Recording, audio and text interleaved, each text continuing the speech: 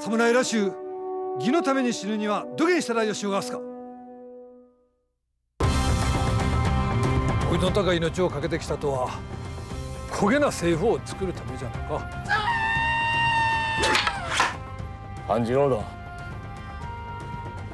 おいを反対しに来たとじゃ。半次郎様は死んだらあきまへん。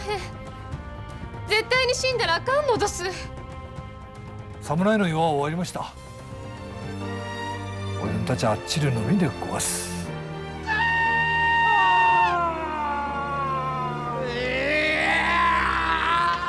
真っ向からぶつかれば士気の差が出る。いが先頭になって戦う。たと